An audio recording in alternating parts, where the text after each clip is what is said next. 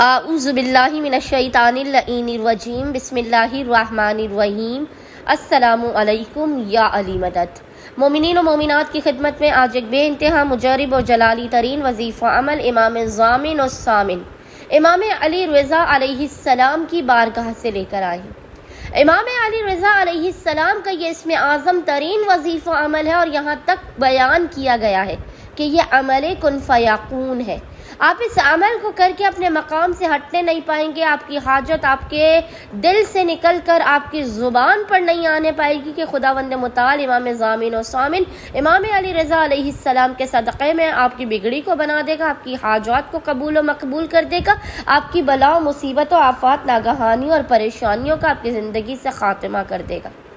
इस कदर ये मुजारब तरीन वजीफ़ अमल है। इस अमल के अंदर अल्लाह का राज, अल्लाह का इसम पोशीदा है। आप इस वजीफ़ अमल को करेंगे, आसमान और ज़मीन के हर बंद दरवाजे और दर को आपके लिए खोल दिया जाएगा। बाखुदा मकाम से हटने से पहले पहले, अमल मुकम्मल होने से पहले पहले आपकी हाजात भी आपको मिल जाएँगी, आपकी मुश्किल भी आपकी ज़िंदगी से दूर हो जाएँगी। रिस्को रोज़ी में भी बरकत होगी और इस कदर अता किया जाएगा कि आप हैरान रह जाएँगे। बस मोमिन ने करना यह है कि आज यानी माह मुहर्रम के आखिरी बुध। लास्ट वेनसडे ऑफ़ माह मुहर्रम के दिन।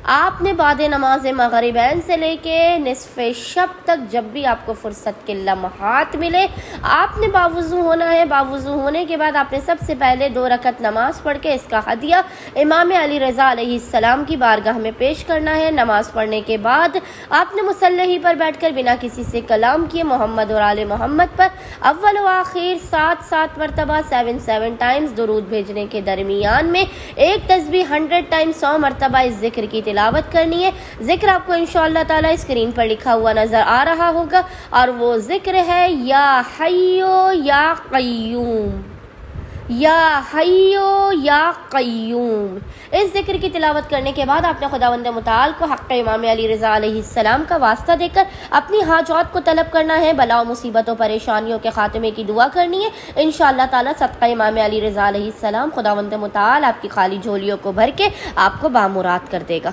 अल्लाह मोहम्मद व आल मोहम्मद व अज्जल फ़राजहम अजमाइन